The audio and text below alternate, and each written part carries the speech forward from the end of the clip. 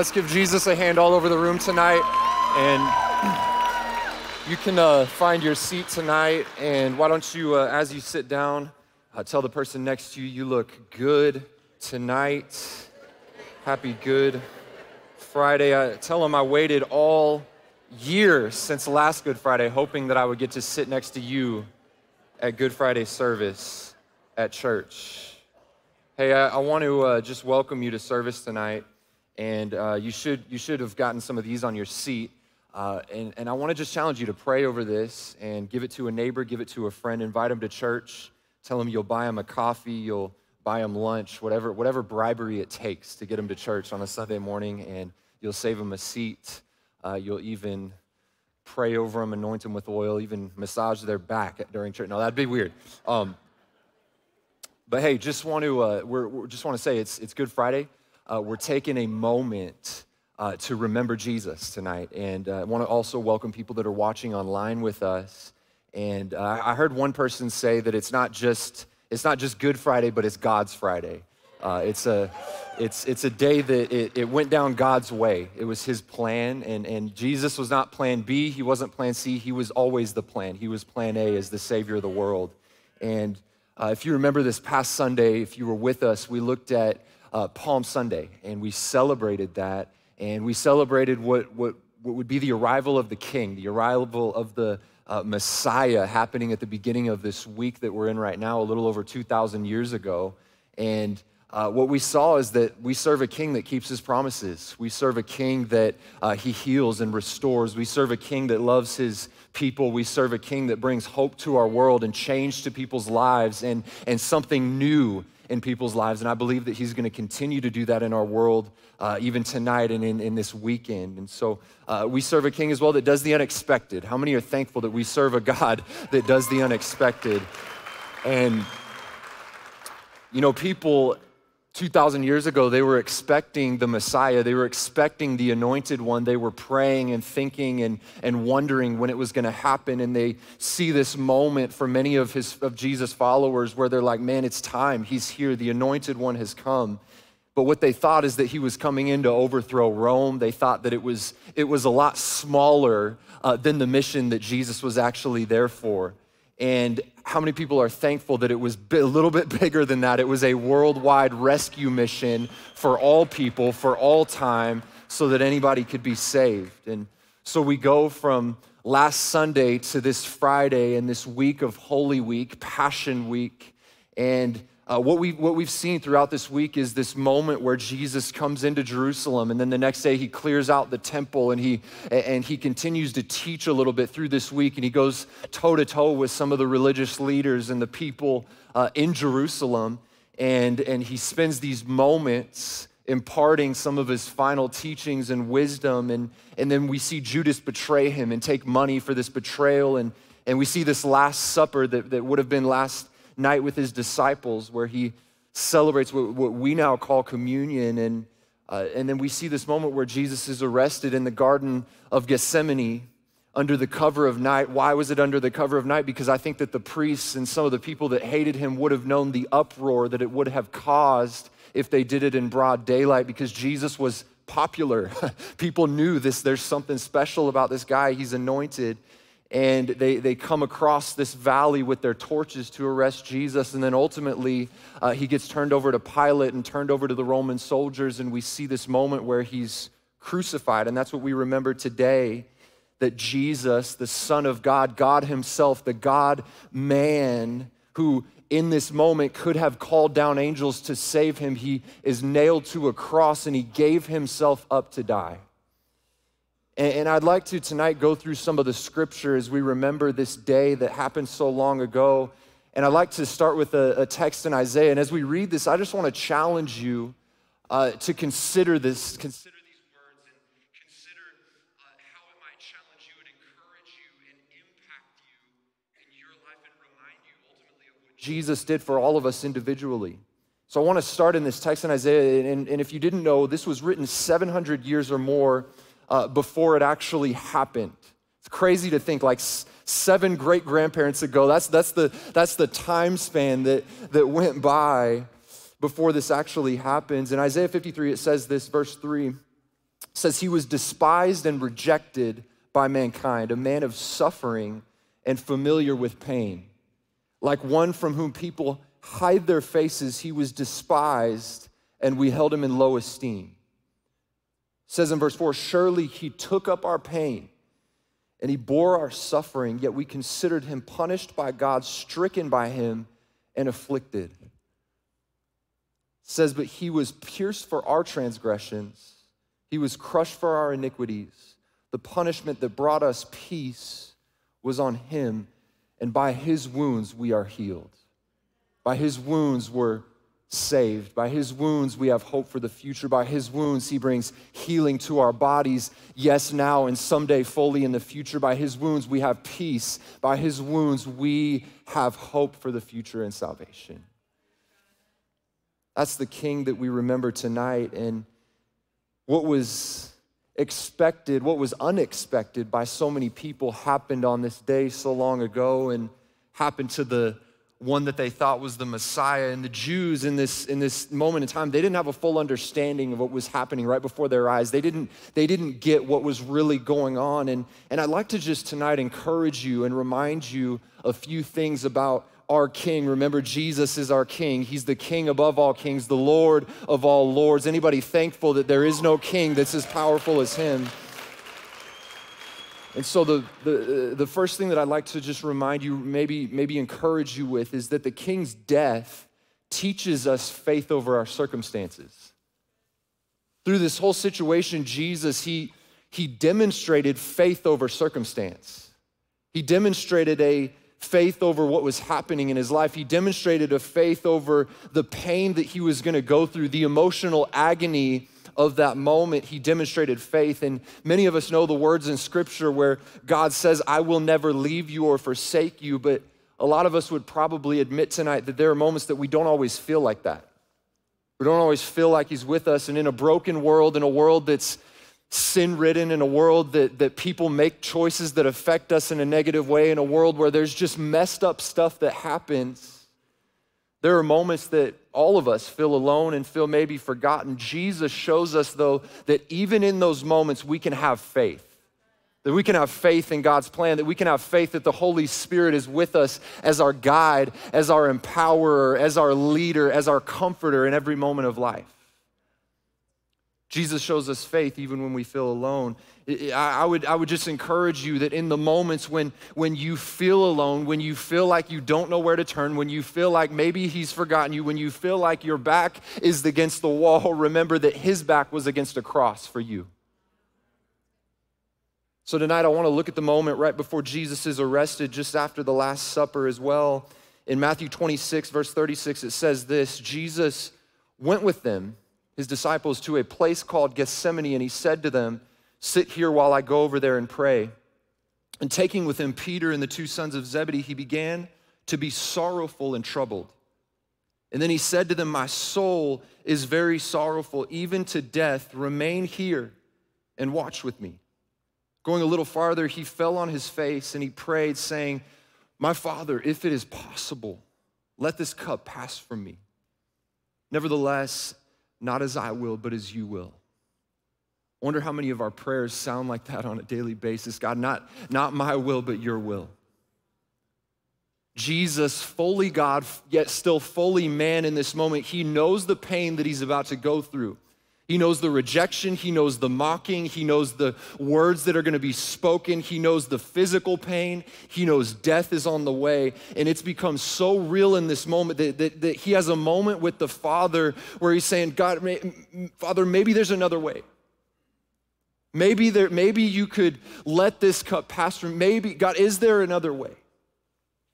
And in many, many uh, historians and scholars, they would point out the reality that as he's in this garden on this hillside, he would have seen in the distance the torches coming to arrest him. And in that moment, he could have gone over the hill into the wilderness, never to be found again. There was an escape route, yet he sits there and he has faith above his circumstance, above what's happening. He demonstrates that. And, and I believe that we, because of that, can walk in faith in our lives today. Luke's account of this same moment, it gives us some different details. says that when he withdrew from them about a stone's throw away, he knelt down and he prayed, saying, Father, if you're willing, remove this cup from me, not my will, your will. It says there appeared an angel from heaven strengthening him. I believe that in moments in our lives, there is, there is angels around us. The Holy Spirit is with us when we go through moments like Jesus did, where it feels like there's nowhere else to turn, that there is a God that cares so much about you that he says, I'm gonna strengthen you and encourage you. If you would let me be a part of your life and in your heart, I am with you. It says that it strengthened him and and it says in verse 44 of Luke chapter 22 being in agony, he prayed more earnestly, and his sweat became like, became like great drops of blood falling down to the ground.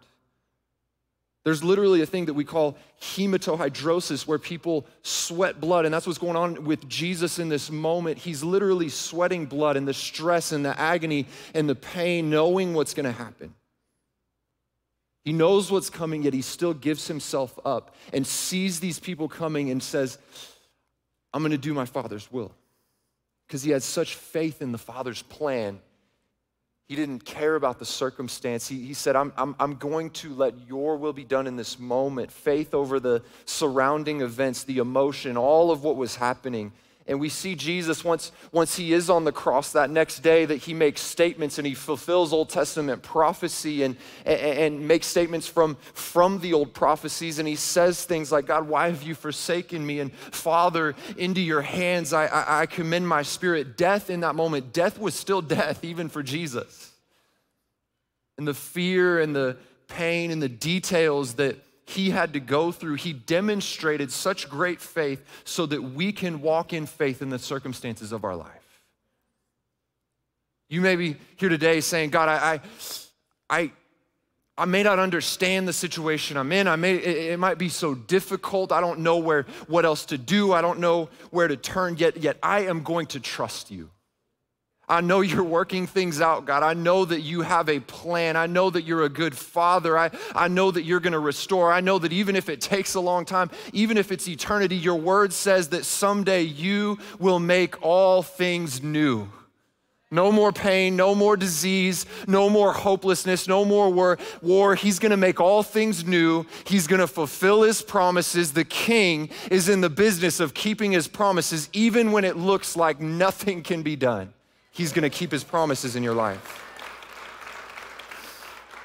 So we can have faith like Jesus, and we see Jesus go from the garden and go from this moment of being arrested, and, and, and the high priest and the council, they, they take him to this home where the high priest is at, and, and the scripture tells us that they actually spit in his face, that many of them slapped him, that they mocked him, and they threw him in a pit overnight. Then in the morning, they bring him to Pilate and they turn him over to the Romans and they want him to be put to death. And I want you to remember this also. The second thing tonight is that the king died so that you don't have to. The reality is, is that all of us, every single one of us, no matter who we are, we all deserve death. And, and, some people might say, well, what do you mean? I'm a pretty good guy. Like my grandpa was terrible, but, but I'm better than him. You know, I'm, I'm better than, the, than my neighbor over there that really treats people in a bad way. I got a decent family. I even put money in the plate at church sometimes. I, I'm, I'm an okay guy. What do you mean by that? The Bible says that all have sinned, all have fallen short of the glory of God. Every person has missed the mark and made a mistake, told a lie, treated someone bad, stole some. Every person is messed up. And the good news, the gospel, which means good news, it's not good unless we understand how badly we need it.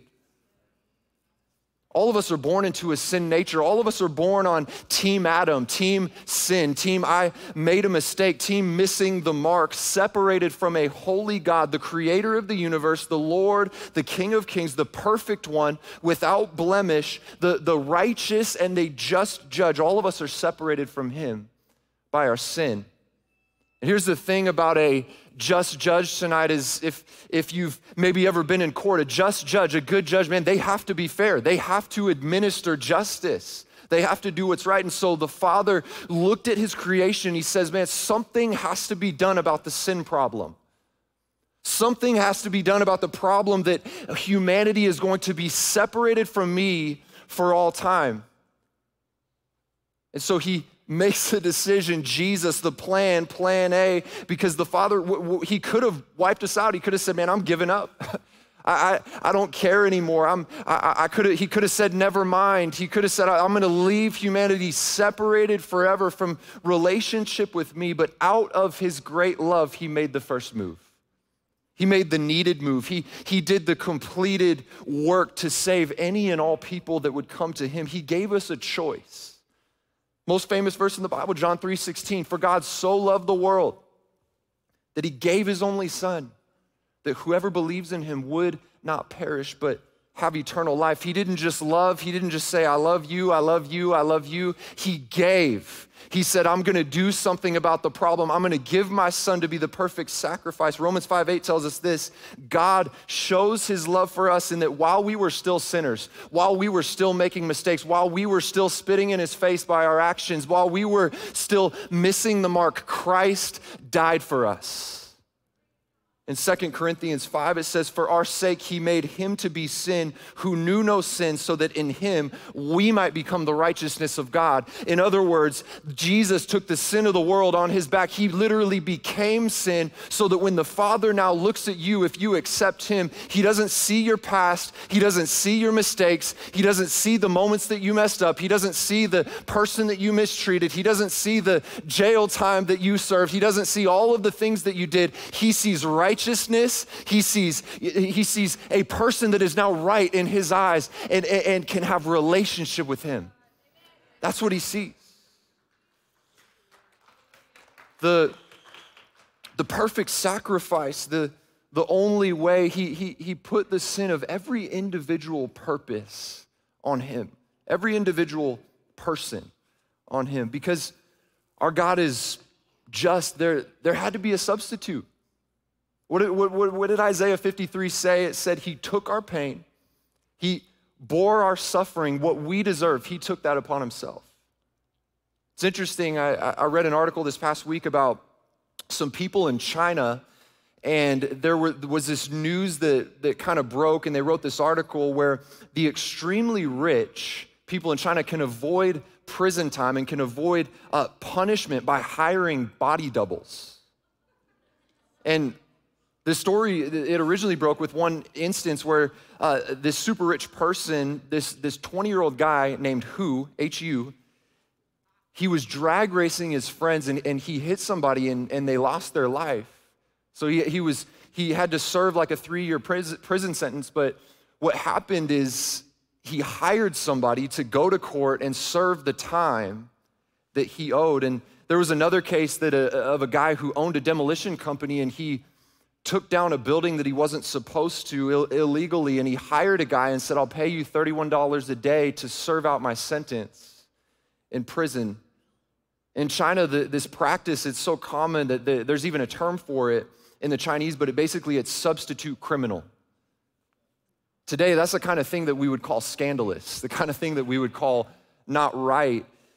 But that's why we look back today to 2,000 years ago and we call the grace of God scandalous. It's a scandalous grace that took our penalty, that became our substitute. When we deserved death, He was the substitute for what we deserved. So we look at Jesus' trial that ended with Pilate, and it was unfair, and he gets turned over to be crucified, even though he's innocent.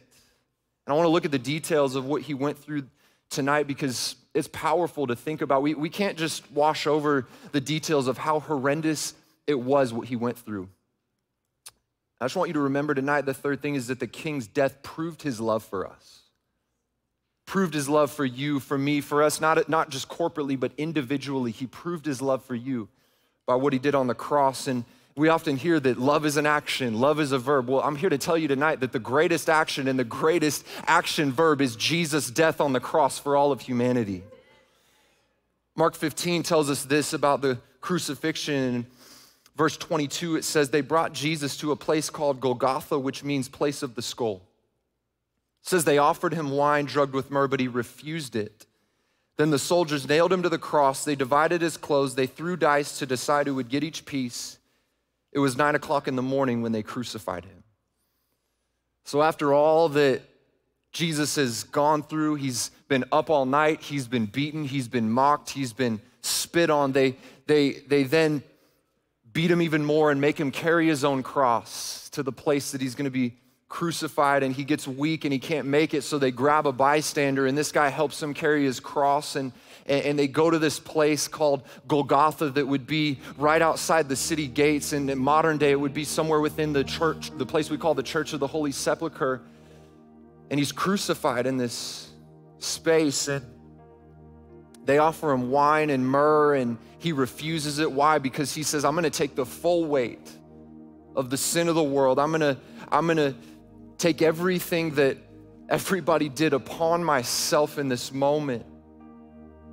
The Romans, when they offer him this, they're, they're, not, they're not saying, Here, here's some wine out of their own mercy. They're trying to make this crucifixion efficient because it would relax a person. Tells us that they nailed him up to the cross at 9 a.m. in the morning. And, you know, many pictures that we see, it shows these nails that would go through his hands. But the reality is, is if it was in his hands, it would, it would tear through the skin and, and, and come out that way. And so they would, what they would have done, the, the Roman uh, people would have, would have taken the nails, these iron, square, iron wrought nails, long nails, and they would have taken it and found these little bones in the wrist right in the middle, and they would have taken it and put his hand upon the cross and nailed it in, one hand. Taken the other hand, nailed it in, this long nail, straight into the cross.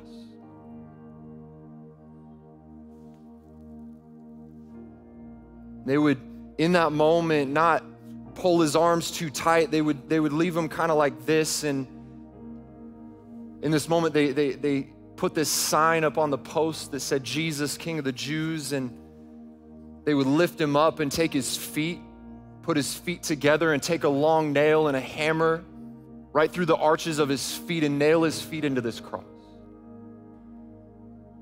And that's what would be crucifixion. The victim is now crucified in that moment. And what would happen is Jesus, as he slowly would sag down, there'd be more weight on the nails that are in his wrists, and this excruciating pain would shoot through his fingers and up into his arms and explode into his brain. And it would put pressure on the median nerves, and he would push himself upward to avoid the, the stretching torment that was happening, and it would put place the full weight on the nails that are in his feet.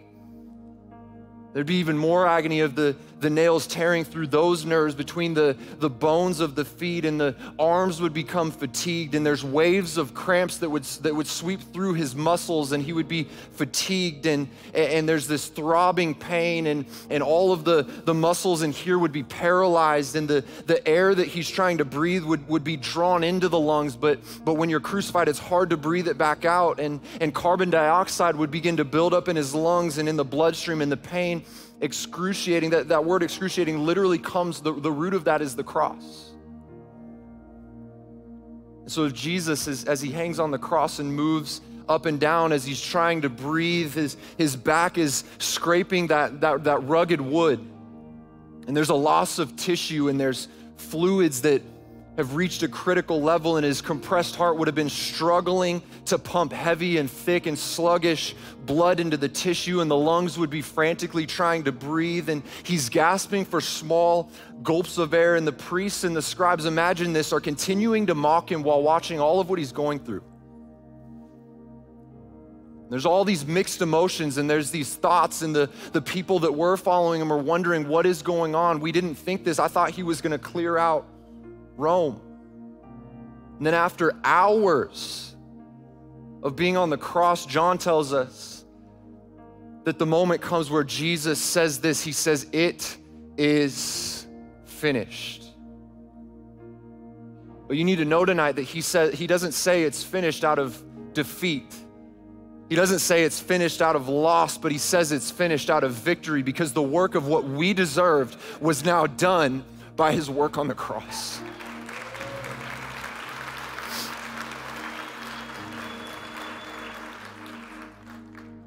So he would have bowed his head and he would have given up his spirit in that moment, and the prophecy was fulfilled. The substitution was finished. And what we owed, the debt that we had to pay, the, the death that we deserved, the prison sentence that we needed to have, all of that was finished.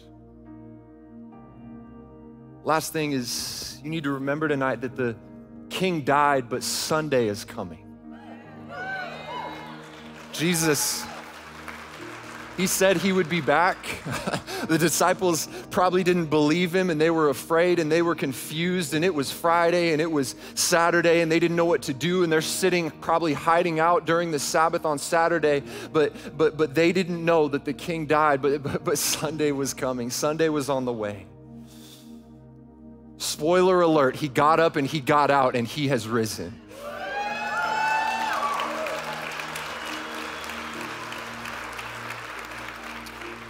You know, before we celebrate Sunday too much, I think it's still important for us to remember tonight what he did. And I'd like to do that as a family. And the greatest way I think that we can do that is to take communion together. And so the ushers can prepare for that. And as we go into a moment of communion tonight, a moment of remembering, and Jesus told us to do this, a moment of remembering what he did for us. You don't have to be a member of Radiant to take communion with us tonight, but the Bible tells us that you do need to have a relationship with Jesus. And so tonight, I, I'm just going to take a moment with, if, and if I could ask you, with every head bowed, every eye closed all over the room, maybe you're in here tonight and you would say, Man, I don't have a real relationship with Jesus. Maybe you're watching online tonight and you would say, I've walked away from Jesus. Maybe you Maybe you came this evening and, and somebody drug you to church and, and you would say, Man, I don't know if my world ended tonight, if the world ended tonight, and tomorrow is not promised, by the way, I don't know where I would be. I don't know if I would have hope for eternity. I don't know if I would be with Jesus. I don't know what it would look like. I don't know if I would be separated from God. Maybe you, maybe you're in here and you've never made that decision. Maybe you're in here and you feel like, man, I have walked away, but tonight I want to come back to Jesus. I want to walk with Him. I, I want my life to be changed. I want the hope that He offers. I want, I want to walk in that, that, that forgiveness of sin that He made available because of what He did on the cross. And so, if you're in here tonight and you would say, I want to come back, I want to know Him for the first time, I'm going to ask you if you would just slip up your hand. Anybody in the room tonight, I need Jesus. I want to walk with Him. I need the hope that He has. Thank you, man. Thank you. Anybody else? You can put it right back down. Four or five people, anybody else in, in the room, thank you. I see you in the back. I appreciate that. You can stay in your seat. I just want to pray for you in a moment. Tonight, there is no greater night than tonight to come to Jesus. It's the greatest decision you could ever make. Anybody else? Maybe you're online, you need to push the button, you need to type in the chat that says, I need Jesus, I'm making a decision. They'll give you next steps online. Anybody else tonight? Thank you for watching the message today. I pray that God has touched your heart. If you want to rededicate your life to Jesus or you want to pray that prayer for the very first time, let me lead you in that prayer. You believe it with all your heart, you'll be saved. Pray something like this Jesus, I love you. Thank you for what you did on the cross. I ask you to forgive my sin of unbelief, which has caused me to be separated from you. Never want to be separated again because today I believe. I believe, Jesus, that you're the Son of God, that God has raised you from the dead, and I believe you're God Himself. And I ask you to be the Lord of my life in every area. In Jesus' name, amen. Well, I'm super proud of you. Great decision, most life changing decision you'll ever make. And maybe at the bottom of the screen, you can go to the link to give you next steps, traction in your faith. We'd love to partner with you. Thanks for being part of the Radiant Church family, and may the Lord bless you and keep you. Make his face shine upon you, be gracious to you. May the Lord turn his face toward you, give you peace in whatever you face. Remember, God loves you. I love you. This is home, and we're family. God is good all the time, and all the time, God